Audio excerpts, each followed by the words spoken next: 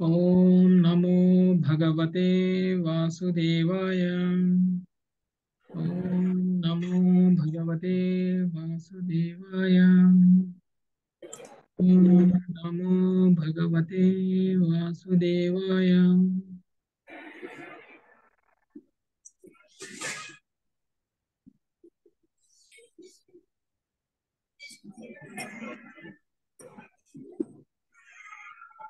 హరే కృష్ణ ప్రభుజీ దండవత్ కృష్ణ హరే కృష్ణ మాతాజీ అందరికి. ఓకే అందరికి వెల్కమ్ అండి. సో ఈరోజు సెషన్ స్టార్ట్ చేద్దాం. సో మనము వృషభదేవుడి వృషభదేవుడి చరిత్రము చదువుకుంటున్నాము. నాలుగవ అధ్యాయంలో ఉన్నాము.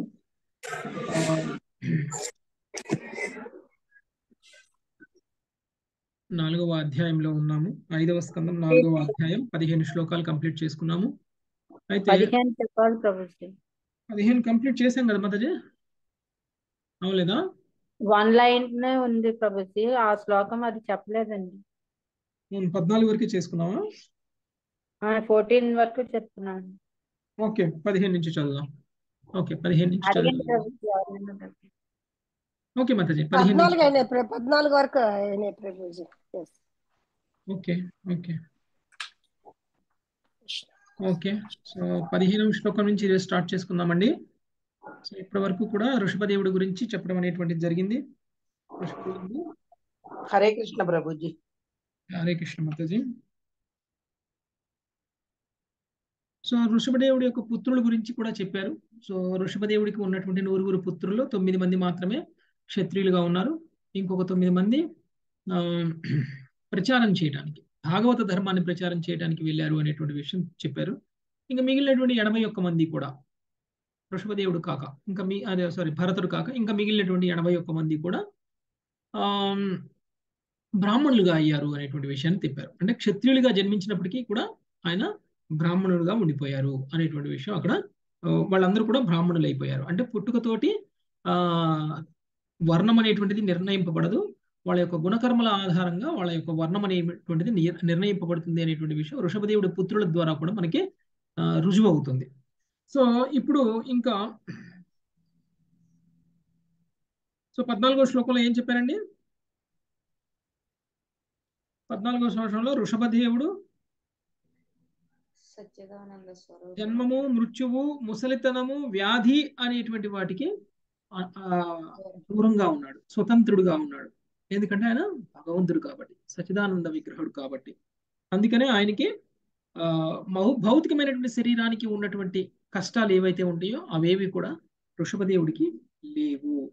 ఇంకా ఆయన సమధరిసి అయి ఉన్నాడు సమభావంతో ఉన్నారు. అందరి యొక్క దుఃఖాలకి ఆయన స్పందించేవాడు సమస్త జీవులకి కూడా ఆయన శ్రేయోభిలాషిగా ఉండడం అనేటువంటిది జరిగింది. సో ఆయన కాలంలో అంటే ఆయన పరిపాలన చేస్తున్నటువంటి సమయంలో వర్ణాశ్రమ ధర్మానికి అనుగుణంగా పరిపాలన అనేటువంటిది జరిగింది.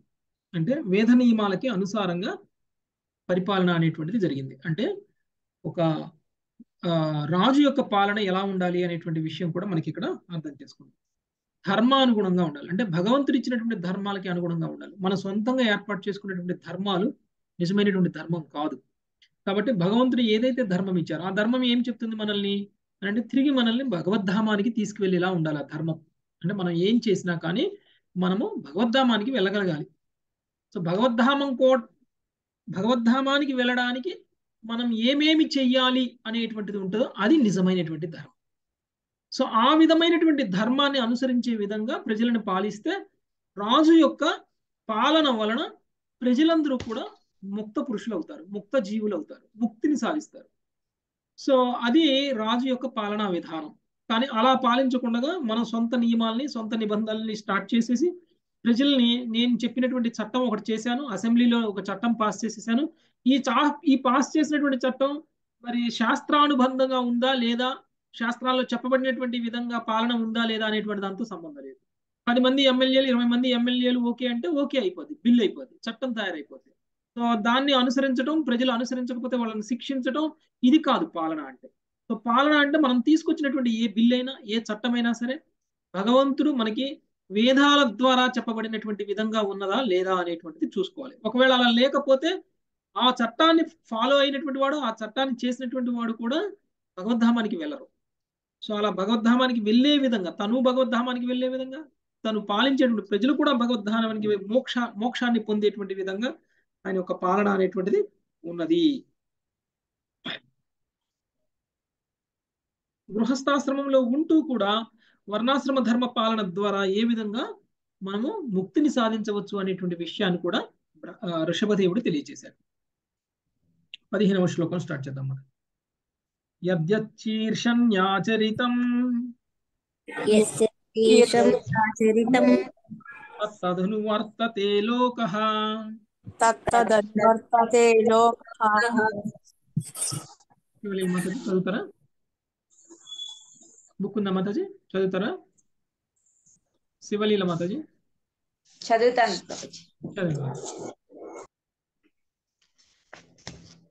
శ్రేష్ఠ పురుషుడు ఆచరించిన కర్మనే సామాన్య జనులు అనుసరింతురు ఓకే. చదవండి ఇటువంటి శ్లోకమే Bhagavad Gita three point twenty one నందును గోచరించును. వేదోపదేశములను అనుసరించి యోగ్యులైన బ్రాహ్మణులుగా శిక్షణను పడిచిన ఒక వర్గము వారు మానవ సంఘములో అత్యవసరము. బ్రాహ్మణుల స్థానము కన్నను తక్కువ వారైన క్షత్రియులు వైశ్యులు శూద్రులు అట్టి మేధావి వర్గము నుండి ఉపదేశములను బడేయగలరు ఈ రీతిన ప్రతి ఒక్కరూ ఉన్నత ఆధ్యాత్మిక స్థితికి ఎదిగి భవబంధము నుండి బ- బయటపడగలరు ఈ భౌతిక జగత్తును శ్రీకృష్ణ భగవానుడే దుఃఖాలయం అశాశ్వతం అని వర్ణించెను.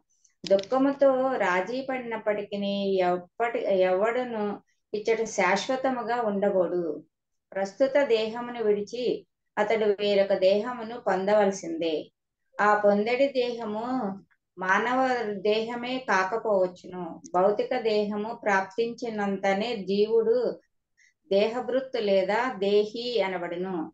అనగా అతడు అంతట భౌతిక పరిస్థితులను ఎదుర్కొనవలసినప్పుడు ఎదుర్కొన వలసి వచ్చును తమను జనులు అనుసరించి భవ భవబంధము ముక్తులయ్యడు లాగున సంఘ నాయకులు ఆదర్శనీయులై ఉండవలెను. హరే కృష్ణ. ప్రభు. సో నాయకులు ఎలా ఉండాలి అని అంటే ప్రజలకి అంటే ఆయన్ని అనుసరించేటువంటి వాళ్ళకి ఆదర్శనీయంగా ఉండాలి. ఇప్పుడు మనం చూస్తే ఋషభదేవుడు స్వయంగా భగవానుడి యొక్క అవతారం. ఆయన ఏమి మనలాగా బద్ధజీవిలాగా ఈ భౌతిక లోకంలోకి రాలేదు. బద్ధజీవి ఏం చేస్తాడు? ఈ భౌతిక లోకంలోకి వచ్చి బంధింపబడ్డాడు కాబట్టి ఏదో ఒక విధంగా తన యొక్క బంధనాలను తెంచుకొని తిరిగి తన యొక్క స్వతంత్రమైనటువంటి జీవితానికి తిరిగి తన యొక్క ధామానికి తన యొక్క ఇంటికి వెళ్ళిపోవడానికి ప్రయత్నం చేస్తాడు. అలా చేయడానికి కొన్ని కర్మలు చేయాలి. ఆ కర్మలు కూడా శుద్ధమైనటువంటి కర్మలు చేయాలి. ఆ కర్మల వలన తన్ను తాను ఉద్ధరించుకోగలిగేటువంటి కర్మలు చేయాలి. అందుకనే మనకి ఆధ్యాత్మికమైనటువంటి ఈ యొక్క పాఠాలు మనం ఏదైతే నేర్చుకుంటున్నామో ఇవన్నీ కూడా ఎందుకు అని అంటే మనం ఏదో తప్పు చేసి ఏదో జన్మలో ఏదో కర్మలు చేసి ఆ కర్మల్ని అనుభవించడం కోసం ఈ రోజు మళ్ళీ ఈ జన్మ తీసుకుంటాం మరి ఈ జన్మ తీసుకున్నాం కాబట్టి ఇంకా భవిష్యత్తులో మళ్ళీ ఇంకా ఎన్ని జన్మలు తీసుకుంటామో తెలియదు ఒకవేళ కనుక మనము మన మన మానవ జన్మ యొక్క లక్ష్యాన్ని కనుక మనం తెలుసుకోకపోతే భవిష్యత్తులో మనం తీసుకోబోయేటువంటి జన్మలు కూడా ఇంకా చాలా ఉంటాయి. అది తెలుసుకొని దానికి అనుగుణంగా మనం కర్మలు చేసి తిరిగి మనం మానవ జన్మ ఎత్తకుండా లేకపోతే ఏ జంతు జన్మ ఎత్తకుండా తిరిగి మనం భగవద్ధామానికి వెళ్ళే విధంగా కర్మలు చేస్తున్నాం. ఇదంతా కూడా మనము ఎందుకు చేస్తున్నాం? బద్ధ జీవులమై ఉన్నాం కాబట్టి ఈ బద్ధ జీవితం నుంచి విడుదల పొందడం కోసం మనం చేస్తున్నటువంటి కర్మలు. మరి భగవంతుడే స్వయంగా అవతారం ఎత్తినప్పుడు మరి ఆయన ఎందుకు కర్మలు చేయాలి? ఆయన కూడా కర్మలు చేస్తున్నారు కదా. మరి ఇప్పుడు ఋషభదేవుడు కూడా కర్మలు చేశారు. యజ్ఞాలు చేస్తున్నారు. లేకపోతే ధర్మయుద్ధంగా ధర్మ ధర్మయుతంగా పరిపాలన చేస్తున్నారు. అందరినీ సమభావంతో చూస్తున్నారు. అందరి ఎడ ఈర్ష్య లేకుండా అందరికీ కూడా ఆ శ్రేయోభిలాషిలా ఉంటున్నారు. ఆ అందరికీ బోధనలు చేస్తున్నారు. ఇవన్నీ కర్మలే కదా? ఇవన్నీ ఎందుకు చేస్తున్నారు? ఇవన్నీ ఎందుకు చేస్తున్నారు అని అంటే ఒక ఆదర్శనీయుడిగా ఉండడం కోసం చేస్తున్నారు. అంటే భగవంతుడు తన వృషభదేవుడు అవతారంలో తను ఏమీ చేయకపోయినా తన ధామానికి తను వెళ్ళిపోతారు. తన ధామానికి వెళ్ళిపోవడం కోసం ఇవన్నీ చేయట్లేదు ఆయన.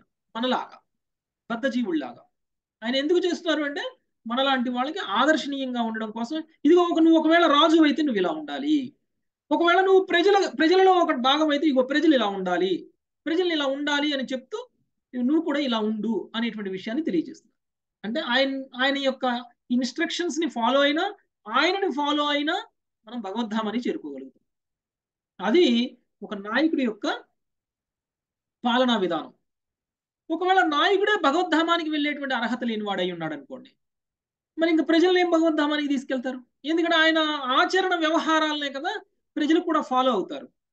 ఒకవేళ అలానే ఫాలో అయ్యారు నాయకుడు నరకానికి వెళ్తే మనం కూడా నరకానికి వెళ్తాం. కాబట్టి నరకానికి వెళ్ళే అర్హత ఉన్నటువంటి నాయకుల్ని ఎన్నుకోవడం అనేటువంటిది మన తప్పు సో మనం ఎన్నుకునేటప్పుడు ఎవరు మనల్ని భగవద్ధామానికి తీసుకెళ్ళరు? ఎవరు ధర్మయుతంగా పరిపాలించగలరు? ఎవరు వర్ణాశ్రమ ధర్మ విధానాలను అనుసరించి పరిపాలించగలరు? ఎవరు వేద నియమాలకి ఆ వేద నియమాలని ఆ ప్రకారంగా వాళ్ళు పాడింది. మను సంహిత ప్రకారంగా ఎవరు పరిపాలన చేయగలరు? ఎవరికి బ్రాహ్మణులు వేదాలు తెలిసినటువంటి బ్రాహ్మణుల సలహాదారులుగా ఉన్నారు? అలాంటి వాళ్ళని చూసి మనం ఎన్నుకుంటే వాళ్ళ యొక్క పరిపాలనలో మనము సంతోషంగా సాటిస్ఫైడ్గా ఉంటాం. అప్పుడు మనం కూడా చక్కగా ఆధ్యాత్మిక సాధన చేసుకోవడానికి అనువైనటువంటి వాతావరణాన్ని వాళ్ళు కలిగిస్తారు. వాళ్ళు చేస్తారు మనతోటి చేపిస్తారు. మనము వెళ్తాము వాళ్ళు వెళ్తారు భగవద్ధామానికి సో ఇక్కడ వృషభదేవుడు కూడా ఆయన చేసినటువంటి కర్మలు ఎలా ఉన్నాయి అంటే సామాన్యులు కూడా అనుసరించే విధంగా సామాన్యులు అనుసరించడం వల్ల వాళ్ళు కూడా లాభాన్ని పొందే విధంగా ఆయన యొక్క కర్మలు ఉన్నాయి. ఓకే? యద్యపి స్వవిధం సకల ధర్మం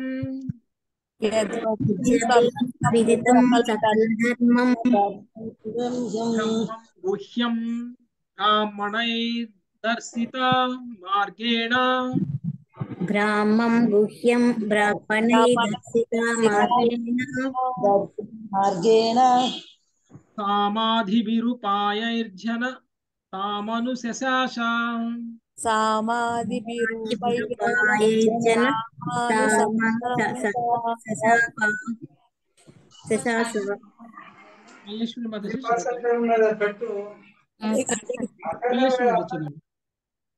సకల ధర్మ సకల ధర్మ సమాచారమును కలిగినట్టు రహస్యమైన వేద జ్ఞానము ఎరిగినప్పటికీ వృషభదేవుడు క్షత్రియుని వలనే వర్తించుచు సమధమ తితిక్షాదులను గూర్చిన బ్రాహ్మణులను ఉపదేశమును అనుసరించును. ఆ విధముగా వర్ణాశ్రమ ధర్మమును అనుసరించి అతడు ప్రజలను పాలి పాలించను. బ్రాహ్మణులు క్షత్రియులకు ఉపదేశం ఇవ్వగా క్షత్రియులు అంతట వయసులు శూద్రుల ద్వారా దేశపాలనము చేయవలనని ఆ వర్ణాశ్ర వర్ణాశ్రమ ధర్మము ఆదేశించును. వర్ణాశ్రమ ధర్మ విధానం ప్రకారంగా ఆయన పాలన చేశారు. చూడండి ఆయన క్షత్రియుడు. ఎవరు? ఋషభదేవుడు. క్షత్రియుడి కంటే ముందు ఆయన దేవాది దేవుడు. దేవాది దేవుడే క్షత్రియుడుగా అవతరించారు. మరి క్షత్రియ ధర్మం ఎలా చేయాలి? బ్రాహ్మణ ధర్మం ఎలా ఉండాలి? వైశ్యుల ధర్మం ఎలా ఉండాలి? శూద్రుల ధర్మం ఎలా ఉండాలి? అనేటువంటి విషయం తనకి ఇంకొకళ్ళు చెప్తే తెలుసుకోవాల్సిన అవసరం లేదు. తనకి స్వయంగా జ్ఞానం ఉంది. ఎందుకంటే ఆయనే దేవాది దేవుడు కాబట్టి ఆయనే భగవంతుడే అవతరించి ఉన్నారు కాబట్టి. అయినా సరే నాకు తెలుసులే. ఎలా పాలించాలో నాకు తెలుసు. వేదాలే నా నుంచి వచ్చాయి. నాకు వేదాలు ఇంకొకళ్ళు నేర్పేది ఏంటి? నేను ఇంకొకళ్ళ దగ్గర ఇన్స్ట్రక్షన్స్ తీసుకొని లేకపోతే సలహాలు తీసుకొని నేను పాలించాల్సినటువంటి అవసరం ఏమిటి అనేటువంటి విషయాన్ని ఆయన అనలేదు. తెలిసినా ఆయన బ్రాహ్మణుల నుంచి సలహా తీసుకున్నారు. ఎందుకు అలా తీసుకున్నారు? ఒక క్షత్రియుడు ధర్మం ఏమిటి అని అంటే తను చేసేటువంటి పాలనని బ్రాహ్మణుల యొక్క సూచనల మేరకు చెయ్యాలి. ఇది క్షత్రుడి యొక్క ధర్మం. ఒకవేళ నేను భగవంతుణ్ణి భగవంతుడి యొక్క అవతారాన్ని నాకు బ్రాహ్మణులు చెప్పే విషయం నాకు ముందుగానే తెలుసు నేను బ్రాహ్మణుల ద్వారా సలహా తీసుకోవాల్సినటువంటి అవసరం లేదు అని కనుక ఒకవేళ ఆయన అన్నట్టయితే క్షత్రియులందరికీ ఆయన ఒక ఉదాహరణ అయిపోతాడు. భవిష్యత్తులో క్షత్రియులు ఎవరూ కూడా బ్రాహ్మణుల యొక్క సలహా తీసుకోకుండానే పాలన చేస్తారు. అలా పాలన చేయటం వలన సమాజం అంతా కూడా భ్రష్టు పడిపోయింది పడిపోతుంది. సో అలా అవ్వకూడదు అంటే తెలిసినా సరే నేను సమాజానికి ఒక మెసేజ్ ఇవ్వాలి. ఒక క్షత్రియుడు ఇలా ఉండాలి అనేటువంటి విషయం తెలియజేయడం కోసం ఒక క్షత్రియుడు లాగానే ప్రవర్తించారు. భగవానుడిలాగా ప్రవర్తించలేదు. దేవాది దేవుడే ఆయనే అవతారం తీసుకుని వృషభదేవుడిలా వచ్చినా కానీ ఆయన ఏమి దేవుళ్ళలా ప్రవర్తించలేదు. ఆయన స్వయంగా ఒక క్షత్రియులానే ప్ర ప్రవర్తించారు. ఆయన కూడా బ్రాహ్మణుల నుంచి సలహా తీసుకున్నారు. సలహా తీసుకుని అందరికీ కూడా ఏ విధంగా అయితే వే వేదాలలో చెప్పబడి ఉందో బ్రాహ్మణుల ద్వారా విన్నారో ఆ విధంగానే పాలన చేశారు. వర్ణాశ్రమ ధర్మ విధానాలకి అనుగుణంగా ప్రజల్ని పాలించారు. బ్రాహ్మణుల ద్వారా సలహా తీసుకున్నారు వైశ్యులు శూద్రుల ద్వారా పాలన చేశారు. సో ఇది క్షత్రుడి యొక్క ధర్మం. అలానే చేశారు. భాష్యము. వేదోపదేశమును చక్కగా నెరిగినప్పటికీ వర్ణ వ్యవస్థని పరిపూర్ణముగా పరిపూర్ణముగా నెలకొల్పుటకు వృషభదేవుడు బ్రాహ్మణులను ఉపదేశమును అనుసరించును. బ్రాహ్మణులు శాస్త్రానుసారం ఉపదేశమవ్వగా ఇతర వర్ణముల వారిని అనుసరించను అనుసరించవలను.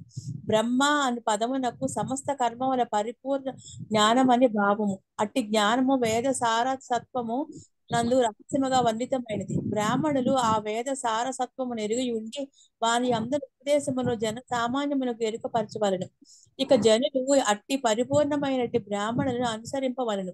ఆ రీతిన మనుజుడు మనో నిగ్రహమును ఇంద్రియ నిగ్రహమును నేర్చి క్రమముగా ఆధ్యాత్మిక పూర్ణత్వం వైపునకు పురోగించగలడు. హరే Okay. కృష్ణ ప్రభు. సో ఏ విధంగా అయితే బ్రాహ్మణులు చెప్తారో ఆ విధంగా కనుక పాలన జరిగి ఉన్నట్లయితే ప్రజలందరూ కూడా ఆధ్యాత్మిక పూర్ణత్వాన్ని సాధిస్తారు. అంటే ఆధ్యాత్మికంగా ముందుకెళ్తారు. పూర్ణత్వాన్ని సాధించడం అంటే మానవ జన్మ యొక్క లక్ష్యాన్ని చేరుకుంటారు. అంటే నువ్వు ఏ వర్ణంలో ఉంటే ఆ వర్ణానికి అనుగుణంగా నువ్వు కర్మలు చేస్తే లక్ష్యాన్ని సాధిస్తారు. సో ఋషభదేవుడికి అన్నీ తెలిసినా కానీ బ్రాహ్మణుల సలహా మేరకే ఆయన పాటించారు పాలించారు. అలానే ప్రజలందరూ కూడా ఆయన ఫాలో అయ్యేలా చేశారు. ద్రవ్య దేశ కాల వయశ్రద్ధ. ద్రవ్య దేశ కాల వయశ్రద్ధ.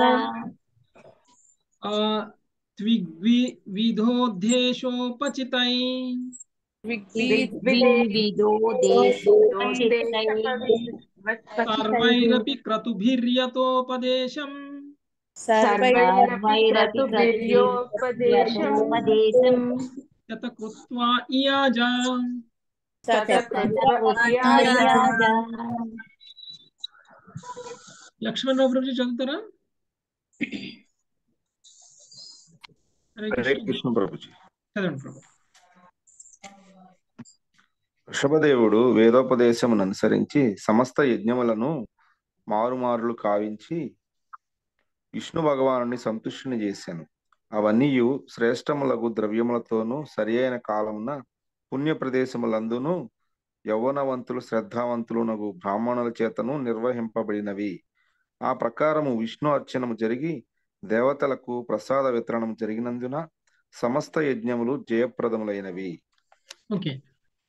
సో పాలన్ని వేదాలకి అనుసారంగానే చేశారు. అలానే ఒక రాజు కర్తవ్యం కూడా ఏమిటి అని అంటే యజ్ఞాలు చేయడం. సో యజ్ఞాలు నిర్వహించడం అనేటువంటిది రాజు యొక్క కర్తవ్యం. అలా చేస్తే భగవంతుడు తృప్తి చెందుతారు. అలా భగవంతుడు తృప్తి చెందితే దేవీ దేవతలందరూ తృప్తి చెందుతారు. ఎప్పుడైతే దేవీ దేవతలందరూ తృప్తి చెందుతారో రాజ్యం అంతా కూడా శస్యశ్యామలంగా ఉంటుంది. సో మనకి ఇంతకు ముందు కూడా తెలుసుకున్నాం యజ్ఞాల వల్ల వర్షాలు వస్తాయి అనేటువంటి విషయాన్ని. సో యజ్ఞాల వల్ల వర్షాలు వస్తే వర్షాల వల్ల మొత్తం కూడా భూమంతా కూడా సారవంతంగా ఉంటుంది. సో అయితే ఈయన చేసినటువంటి యజ్ఞము మరియు కర్మకాండలాగా కూడా చేయలేదు. ఎలా అంటే యజ్ఞం అనేటువంటిది ఏదో దేవీ దేవతలకు ఉద్దేశించబడి చేసినట్లయితే లేదు అని అంటే ఏదైనా కోరికలకి ఆ నెరవేర్చుకోవడం కోసం కనుక యజ్ఞం చేసినట్లయితే అది కర్మకాండ యజ్ఞం అవుతుంది. కానీ ఈయన ఏమి శాస్త్రోక్తంగా చేశారు ఈ యజ్ఞాలు? విష్ణు భగవానుడి ప్రీత్యర్థం చేశారు. అంటే భగవంతుడిని సంతృప్తి పరచడం కోసం చేశారు. ఎప్పుడైతే భగవంతుడు సంతృప్తి చెందుతారో సమస్తం సంతృప్తి చెందుతుంది. మనం ఏమనుకుంటాం? ఎవరో ఒకళ్ళని సంతృప్తి పట్టాలి అని అనుకుంటాం. ఎవరో ఒకళ్ళని సంతృప్తి పెడితే అంతటితోటి మనం చేసేటువంటి పని వల్ల వాళ్ళ అంత సంతృప్తి అనేటువంటిది తాత్కాలికమైనటువంటి సంతృప్తి. ఇంకొకటి నువ్వు సంతృప్తి పెట్టాలి సమాజంలో ఉన్నటువంటి వాళ్ళందరికీ సంఘసేవ చేసు అది చేసు ఇది చేసు సంతృప్తి చేయాలి అని అనుకుంటే సమాజం మొత్తాన్ని సంతృప్తి పెట్టడం అనేటువంటిది ఏ ఏ ఒక్కతరం కాదు. కదండి ఒక తండ్రి భార్యని సంతృప్తి చేయలేడు. అంటే ఒక భర్త భార్యని సంతృప్తి పెట్టలేడు. ఇక సమాజం మొత్తాన్ని ఎక్కడ సంతృప్తి పెడతాడు? లేదంటే ఒక తండ్రి స్థానంలో ఉన్నటువంటి వాడు కొడుకుకి సంతృప్తి చేయలేడు. సో ఏదో ఒక రకంగా కొడుకు కూడా తండ్రి మీద ఏదో ఒక ప్రాబ్లమ్స్ ఏదో ఒక కంప్లైంట్స్ ఉంటాయి. పూర్తి సాటిస్ఫైడ్ ఏ ఏ క్యారెక్టర్ వల్ల ఏ క్యారెక్టర్ కూడా పూర్తిగా సాటిస్ఫైడ్ అయి ఉండదు. అంటే మనం ఒకళ్ళని సంతృప్తి పెట్టాలి అనేటువంటి ప్రయత్నం చేసినా కానీ మనం ఎవరిని కూడా పూర్తిగా సంతృప్తి చేయలేము. ఎందుకంటే మనం సంతృప్తి పెట్టే లోపల వాడి ఎక్స్పెక్టేషన్స్ మారిపోతాయి వాడి కోరికలు మారిపోతాయి వాడి ఆలోచనలు మారిపోతాయి. వాడు మన నుంచి ఏం కోరుకుంటున్నాడు అనేటువంటి విషయం కూడా మారిపోతుంది. అప్పుడు మళ్ళీ మనం ఇంకేదో చేయాలి వాడిని సంతృప్తి పెట్టడం కోసం. సో ఆ విధంగా ఏ వ్యక్తిని ఎవరూ సంతృప్తి పరచలేదు. ఇప్పుడు అందరూని అందరూ సంతృప్తి పెట్టేలాగా ఉండాలి అని అంటే మనం ఎవరికి పూజ చేయాలి ఎవరిని అర్చించాలి అని అంటే దేవాది దేవుడైనటువంటి శ్రీకృష్ణ భగవానుని అర్చించాలి. అప్పుడు మీ లక్ష్యము నా లక్ష్యము ఒకటే అవుతుంది. నేను చేసే పని వల్ల మీరు తృప్తి పడతారు మీరు చేసే పని వల్ల నేను తృప్తి పడతా. ఎందుకు అంటే మీ మన ఇద్దరు లక్ష్యం ఒకటే. అది ఏమిటి అని అంటే భగవాన్ని తృప్తి పెట్టడం. యజ్ఞం చేసేది కూడా అందుకే. సో యజ్ఞాలు చేయడం వల్ల ఏంటంటే యజ్ఞం యొక్క లక్ష్యం భగవంతుని తృప్తి పెట్టడం. యజ్ఞంలో పాల్గొన్నటువంటి వాళ్ళందరి యొక్క లక్ష్యం కూడా అదే. ప్రజలందరి యొక్క లక్ష్యం కూడా అదే అయినప్పుడు అందరి లక్ష్యం ఒకటే అయినప్పుడు ఆటోమేటిక్గా ఏదైనా సరే భగవంతుడి కోసం చేసినప్పుడు అంటే ఆ లక్ష్యం భగవంతుడు కాబట్టి భగవంతుడి కోసం చేసినప్పుడు అందరూ అంగీకరించడం జరుగుతుంది అందరూ సంతృప్తి పడటం అనేటువంటిది జరుగుతుంది. అందుకనే ఏదైనా సరే భగవంతుడి కోసం చేయాలి అప్పుడు భగవంతుడు సంతృప్తి చెందితే సమస్తము సంతృప్తి చెందుతుంది. దేవీ దేవతలతో సహా అందరూ కూడా సంతృప్తి చెందుతారు. ఇంకా యజ్ఞం చేసినప్పుడు ఎలా చేయాలి అనేటువంటి విషయాన్ని కూడా ఈ శ్లోకంలో మనకి తెలియజేస్తున్నారు. యజ్ఞం చేసినప్పుడు దేవీ దేవతలను కూడా ఆహ్వానించాలి. దేవీ దేవతలకు కూడా ప్రసాద వితరణ అనేటువంటిది జరగాలి. అందుకని మనం వేసినటువంటి హవిష్యులు వేసినప్పుడు ఒక్కొక్క దేవతని ఆహ్వానించి ఒక్కొక్క దేవతకి మనము యజ్ఞ సంభారాలు వేయటం అనేటువంటిది జరుగుతుంది. అంటే అగ్నిలోనే వేసినా కానీ మనము స్వాహ స్వాహ అనేటప్పుడు ఒక్కొక్క దేవత పేరుని పిలుస్తాం అనమాట ఒక్కొక్క దేవతకి మనము అర్పిస్తూ ఉంటాం. సో అలా దేవతలకి అర్పిస్తూ భగవంతుడికి కూడా అర్పిస్తాం. భగవంతుడి ద్వారా దేవతలకి అర్పించడం అనేటువంటిది జరుగుతుంది. కానీ అలా భగవంతుని సంతృప్తి పెట్టడం అనేటువంటి లక్ష్యంతో మనము యజ్ఞాలు చేయాలి అనేటువంటి విషయాన్ని కూడా ఋషభదేవుడు సమాజానికి తెలియజేస్తున్నారు. చదవండి మాతాజీ. భాష్యము. కౌమార ఆచరేత్ ప్రాజ్ఞో ధర్మాన్ భాగవతానిహ. భాగవతము ఏడవ స్కందము ఆరవ అధ్యాయం ఒకటో శ్లోకములో చెప్పబడినది. ఏదేని అనుష్ఠానమును జయప్రదము చేయవలనొచ్చు దానిని యువకులతో వీలైతే బాలులతో నిర్వహింపజేయవలెను. జనులకు వేద సంస్కృతి ఎందు ముఖ్యముగా భక్తి యోగమునందు బాల్యం నుండి శిక్షణనివ్వవలెను. ఆ ప్రకారము మనుజుని జీవితము పూర్ణత్వము పడేయగలదు. వైష్ణవుడు ఎన్నడును దేవతలను అగౌరవించడు. అలాగని ప్రతి దేవత దేవదేవుడే అనడి మూర్ఖత్వమును కూడా అతడు ప్రదర్శింపడు. దేవదేవుడు సమస్త దేవతలకు ప్రభు కనుక దేవతలందరూ భగవానుని సేవకులే. వైష్ణవుడు వారిని భగవత్ సేవకులుగా భావించి నేరుగా అర్పించును. బ్రహ్మ సంహిత యందు శివుడు బ్రహ్మ శ్రీకృష్ణుని కళా విలాసములైన మహావిష్ణువు గర్భోదక సాయి విష్ణువు ఇతర విష్ణు తత్వములు అంతేగాక దుర్గాదేవి వంటి శక్తి తత్వములు గోవిందం ఆది పురుషం తమహం భజామి అంటి స్తోత్రముచే గోవిందార్చనము ద్వారా అర్చించబడిరి. వైష్ణవుడు దేవతలను గోవిందుని సంబంధములోనే అర్చించును గాని స్వతంత్రముగా కాదు. దేవతలు స్వతంత్రులని దేవదేవునిపై ఆధారపడలేదని వైష్ణవుడు ఎన్నడను భావింపడు.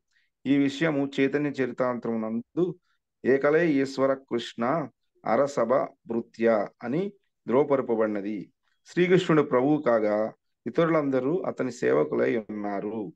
హరే కృష్ణ ఓకే. సో ఎందుకు యజ్ఞం? విష్ణు భగవానుడికి కృష్ణుడికి ఉద్దేశించి మాత్రమే చేయాలి అనేటువంటి విషయానికి ఇక్కడ మనకి ఎక్స్ప్లెనేషన్ ఇస్తున్నారు.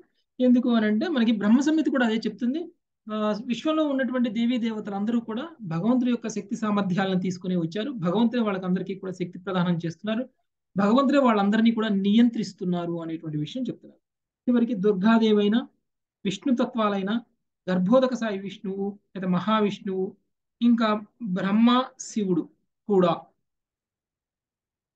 బ్ర సారీ ఒక నిమిషం. బ్రహ్మ సమితిలో ఏం చెప్పారంటే శివుడు బ్రహ్మ శ్రీకృష్ణుని కళావిలాసములైన మహావిష్ణువు గర్భోదక సాయి విష్ణువు ఇతర విష్ణు తత్వములు అంతేకాక దుర్గాదేవి వంటి శక్తి శక్తిత్వములు అన్నారు గోవిందమాది పురుషం తమహం బజాడి అనే స్తోత్రముచే గోవిందార్చనము ద్వారా అర్చింపబడింది అంటే ఎవరిని అర్పించాల అర్చించాలన్నా కానీ అది గోవిందుడి అర్చన ద్వారానే జరగాలి అనేటువంటి విషయం మనకి చెప్తున్నారు. అందులో బ్రహ్మ సంహితలో శివుడి యొక్క శక్తి గురించి మాట్లాడతారు దుర్గాదేవి శక్తి గురించి మాట్లాడతారు విష్ణువు శక్తి గురించి మాట్లాడతారు. కానీ చివరి లైన్లో మాత్రం బ్రహ్మ ఏం చెప్తారండి? గోవిందమాది పురుషం తమహం భజామి అని అంటారు. అంటే వీళ్ళందరూ ఇంత శక్తిమంతులే అయినప్పటికీ వీళ్ళందరికీ శక్తి ఇచ్చినటువంటి ఆ గోవిందుడికి నేను భజిస్తున్నాను అనేటువంటి విషయాన్ని చెప్తారు. అంటే సమస్త సృష్టిలో ఉన్నటువంటి అందరి దేవీ దేవతలకి ఇంక్లూడింగ్ శివుడు బ్రహ్మ కూడా శక్తిని పొందారు అని అంటే అది గోవిందుడి ద్వారానే పొందారు. అందుకనే ఆ గోవిందుడికి నేను పూజిస్తాను అనేటువంటి విషయాన్ని బ్రహ్మదేవుడు తెలియజేస్తున్నారు. కాబట్టి మూల కారణం ఏదైతే ఉందో ఆ మూల కారణానికి మనం కీర్తన చేయాలి భజన చేయాలి పూజ చేయాలి అర్చన చేయాలి. అందుకనే ఇక్కడ విష్ణు ఆరాధన కూడా అందుకే చేయటం అనేటువంటిది జరుగుతుంది. ఇంకోటి ఇంకొక ముఖ్యమైనటువంటి విషయం ఇక్కడ ఏం చెప్పారు ప్రపాదుల వారు అని అంటే ఇలాంటి యజ్ఞాలు జరిగినప్పుడు యువకులని పిల్లలని పార్టిసిపేట్ చేయించాలట. ఎందుకంటే పిల్లలు చిన్న వయసు నుంచి ఆధ్యాత్మికతని అలవరుచుకుంటారు. లేదు అని అంటే భౌతికంగా పెరిగిపోయినటువంటి వాళ్ళు ఒక్కసారి పెద్దవాళ్ళు అయిపోయిన తర్వాత యవన వయసు దాటిపోయిన తర్వాత ఈ ఇంక నీ ఇంద్రియభోగం ఆపేసి ఇప్పుడు సడన్గా నువ్వు ఆధ్యాత్మికంగా వచ్చేయాలి ఆధ్యాత్మికంగా ఉండాలి ఆ నియంత్రణలు పాటించాలి రూల్స్ రెగ్యులేషన్స్ పాటించాలి అని అంటే సడన్గా పాటించడం. పాటించడం కూడా కష్టమవుతుంది. వాడు స్లో స్లోగా భౌతికంగా మారిపోతాడు. అలా మారకుండా ఉండాలంటే ఆధ్యాత్మిక సాధన అనేటువంటిది చిన్నతనం నుంచే ఉండాలి. ఎప్పుడైతే చిన్నతనం నుంచే ఉంటుందో ఆధ్యాత్మిక విలువలతోటి పెరుగుతారు. అలా పెరగడం వల్ల వాళ్ళు పెద్ద అయిన తర్వాత కూడా అదే ఆధ్యాత్మికతను కంటిన్యూ చేస్తారు. ఆ విధంగా వాళ్ళు ముక్తి మార్గంలో ఉంటారు. లేదంటే ఒక్కసారి వాళ్ళని మార్చడం అనేటువంటిది కష్టం భౌతికంగానే ఉండిపోతారు. అందుకని చిన్నప్పటి నుంచే వాళ్ళని సాధన అనేటువంటిది స్టార్ట్ చేయించాలి అనేటువంటి విషయాన్ని ఇక్కడ చెప్తారు అందుకని ప్రహ్లాదుడు కానీ ధ్రువుడు కానీ చూడండి. చిన్న వయసులోనే వాళ్ళు ఆరంభించారు కాబట్టి వాళ్ళు భగవంతుని చాలా ఈజీగా ప్రసన్నం చేసుకోగలిగారు. చిన్న వయసులో ఉన్నటువంటి కాన్సన్ట్రేషన్ పెద్ద అయిన తర్వాత ఉండదు. మనసులోకి వంద వ్యవహారాలు చేరిన తర్వాత ఆ వ్యవహారాలన్నీ ఆపటం కష్టమైంది. చిన్న వయసులో ఉన్నప్పుడు మనసులో వంద విషయాలు ఉండవు. కాబట్టి వాళ్ళ మనసు చాలా స్థిరంగా ఉంటుంది. పెద్దవాళ్ళ మనసు కంటే. ఎందుకంటే వాళ్ళకి భౌతికమైనటువంటి విషయాల్లో ఎంగేజ్ అయిపోయి ఉంటారు కాబట్టి అలా ఒకసారి ఎంగేజ్ అయిపోయిన తర్వాత వాళ్ళ మనసును కంట్రోల్ చేయాలంటే భౌతికమైనటువంటి విషయాలన్నింటినీ పక్కన పెట్టాలి. అది సాధ్యం కాదు. అదే చిన్న వయసులో అయితే అన్ని భౌతికమైనటువంటి కార్యకలాపాలు వాళ్ళలో ఉండవు. అందుకనే మనసుని ఈజీగా స్థిరం చేయగలుగుతారు. అందుకని చిన్న వయసులోనే వాళ్ళకి ఆధ్యాత్మిక సాధన అనేటువంటిది ఇవ్వాలి. भगवतर्षरे भगवर्त भगवतर्षभेण परिरक्ष्यमाण।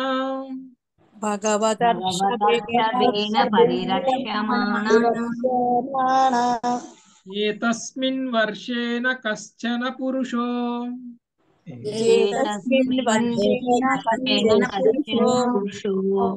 वाञ्छत्य विद्यमानम्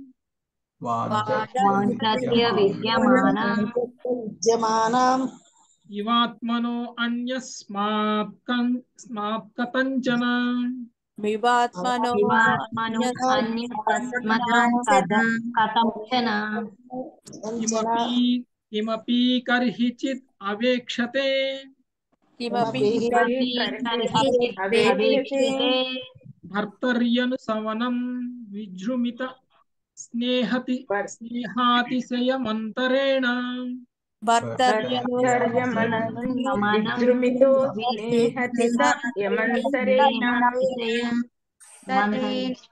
హైమోతి మాతాజీ చదువుతారా?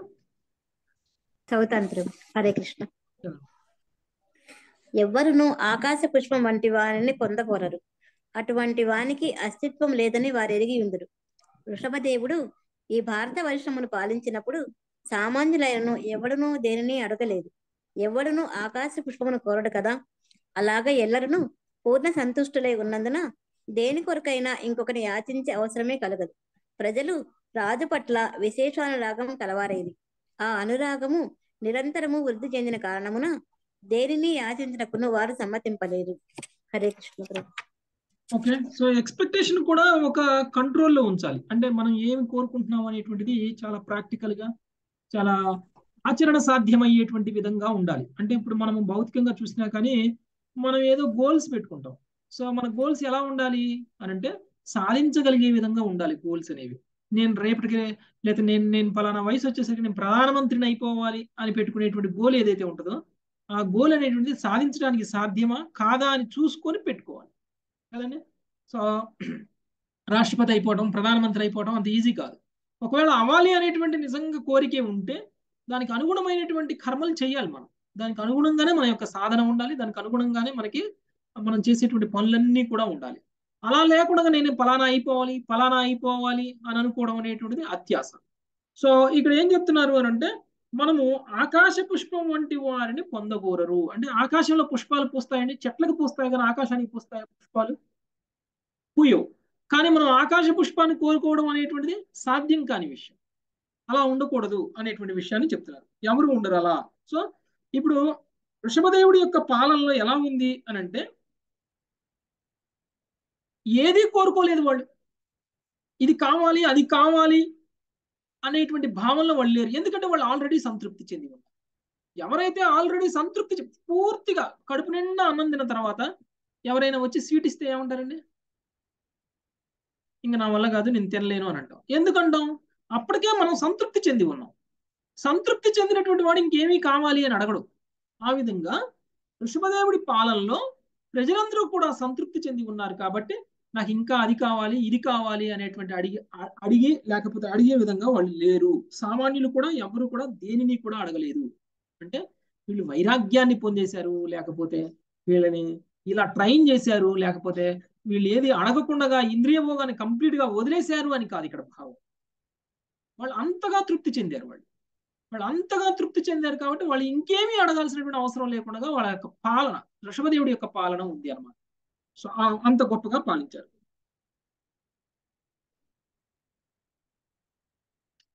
ఓకే చదవండి మాతాజీ. భాష్యము. బెంగాలీలో గుర్రం గుడ్డు అనే పదము వాడుకలో ఉన్నది. గుర్రము గుడ్డు పెట్టదు. కనుక గుర్రం గుడ్డు అనటానికి అనదానికి నిజమునకు అర్హ అర్థము లేదు. అదే విధముగా సంస్కృత భాషలో కపుష్ప అనగా ఆకాశ పుష్పం అను పదప్రయోగం ఉన్నది ఆకాశమున పూలు పూయవు కనుక ఎవరును ఆకాశ పుష్పమును కోరరు. వృషభదేవుని పరిపాలనలో సర్వులు సమస్తమును కలిగి ఉన్నందున దేనిని వారు వాంఛింపకూడలేదు వృషభదేవుని సత్పరిపాలనలో జనులకు అన్ని జీవనావసరములు పుష్కలముగా లభించినవి. అందువలన సర్వులు పూర్ణ సంతుష్టులై దేనిని అడగలేదు. పరిపూర్ణమైన పాలనమనగా ఇదియే. దుష్ట పాలనచే ప్రజలు దుఃఖభాగులైనచో ప్రభుత్వాధినేతలు నిందనీయులే అగుదురు నేటి ప్రజాస్వామ్య కాలమున ప్రజలు రాజరికమును ఇష్టపడలేదు. కానీ వేద నాగరికత ద్వారాను జీవనా జీవనావసరములను పుష్కలముగా వసుకుట ద్వారాను ప్రపంచ జనులందరినీ పూర్ణ సంతుష్టులు గావించిన ఒక చక్రవర్తి చరిత్రము ఇతర ఉపమానముగా లభించుతున్నది ఈ విధముగా భగవానుడు వృషభదేవుని పరిపాలనలో ఎల్లరూ సుఖముగా ఉండేది. హరే కృష్ణ ప్రభు. ఓకే ప్రజలతో ఎన్నుకోబడినటువంటి ప్రభుత్వాధినేతల పాలనలో ఇలాంటి ఒక పాలన ఉందా? ఎవరైనా నాకు ఇంకేమీ అవసరం లేదు నేను సంతుష్టిగా ఉన్నాను అని చెప్ప చెప్పేటువంటి ఆ ఒక రాష్ట్రం కానీ లేదా ఒక దేశం కానీ ఎక్కడైనా ఉందా? ప్రజలందరూ సుఖంగా సంతోషంగా సంపూర్ణంగా సంతృప్తి చెందినటువంటి రాష్ట్రాలు దేశాలు ఎక్కడా లేవు. ఎందుకు అలా లేవు? మనమే ఎన్నుకుంటున్నాం కదా. మన నాయకులు ఇలా ఉండాలి అలా ఉండాలి అని మనం ఒక రూల్ పెట్టుకొని ఆ రూల్ ప్రకారంగా మనం కోరుకున్నట్లు ఉన్నటువంటి నాయకుడు వచ్చినా కానీ మరి మనం ఎందుకు సంతృప్తి చెందట్లేదు? సో ఋషభదేవుడి యొక్క పాలనలో అలా లేదు. అంటే మనం రాచరికాన్ని వ్యతిరేకించి ప్రజాపాలన ఎందుకు కోరుకున్నాము అని అంటే ప్రజాపాలన ప్రజలతోటి ఎన్నుకోబడినటువంటి పాలకులు ప్రజలకి మంచి చేస్తారు అనేటువంటి ఉద్దేశంతో ఎన్నుకోవడం అనేటువంటి జరిగింది. కానీ దురదృష్టవశాత్తు రాచరికంలో ఉన్నటువంటి ఋషభదేవుడు పాలించినటువంటి పాలనలోనే ప్రజలు సంతోషంగా ఉన్నారు. కానీ ప్రజలతో ఎన్నుకోబడినటువంటి పరిపాలకుల యొక్క పాలనలో మాత్రం అంత సంతృప్తిగా కూడా లేరు. మనం ఏ రాచరికాన్ని అయితే వ్యతిరేకిస్తున్నామో ఆ రాచరిక సమయంలోనే ప్రజలు సంతృప్తిగా ఉన్నారు.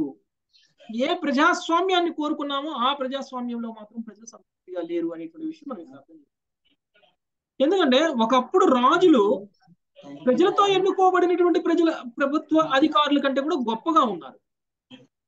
అంటే అప్పట్లో వాళ్ళు ఆ అర్హత పొందినటువంటి రాచరికంలోనే ఉన్నా కానీ అర్హత పొందినటువంటి వాళ్ళు ఉన్నారు. బ్రాహ్మణులతో సలహాలు తీసుకొని ఉన్నారు. వేదాలకి అనుగుణంగా పాలనలు చేశారు కాబట్టి ప్రజలందరూ కూడా అంత సుఖ సంతోషాలతోటి సంతృప్తిగా ఉండడం అనేటువంటిది జరిగింది. ఇప్పుడు అలా లేదు కాబట్టి మనం అంత సంతృప్తిగా ఉండడం లేదు. కథాచిదట మానో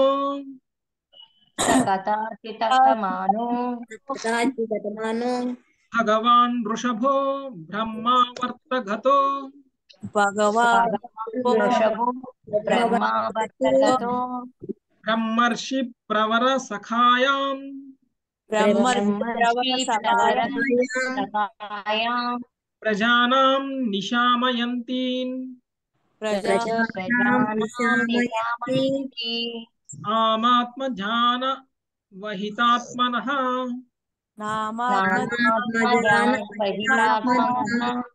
प्रश्रय प्रणयभर सुयन्त्रितानप्यो।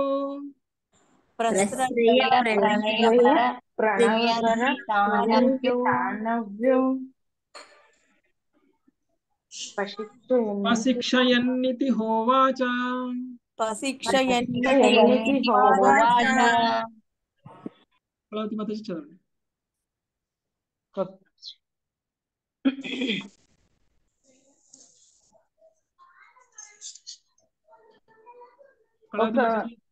చదువుతున్నాను.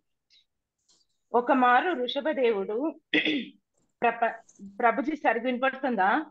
వినిపిస్తుంది ఒక మారు వృషభదేవుడు ప్రపంచ పర్యటన కావించుచు బ్రహ్మవర్తం అనేది ప్రాంతమున చేరెను. అచ్చట ఒక బ్రహ్మ బ్రహ్మర్షుల సభ జరుగుచుండగా రాజపుత్రులందరూ బ్రాహ్మణోపదేశమును శ్రద్ధతో ఆలకించిరి.